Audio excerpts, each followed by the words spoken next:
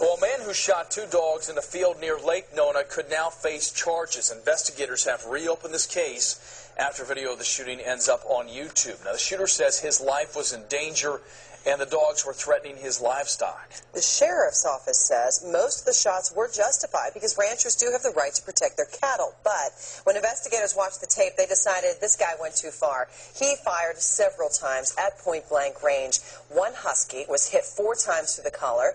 The other one was shot three times, lost an eye. Both survived, but they need continual care. And the dog's owner doesn't think the misdemeanor charge that man faces is enough. I just don't think he should have guns, and I just think he's trigger happy. I feel that he's, I feel he's dangerous. I felt under threat in that field with the dogs, and I just don't think he's the type of person that should be carrying a gun. That owner followed his dogs into the field, tried to get the man to stop shooting. The man accused of the shooting has not yet been arrested. The state attorney will have to decide whether to prosecute.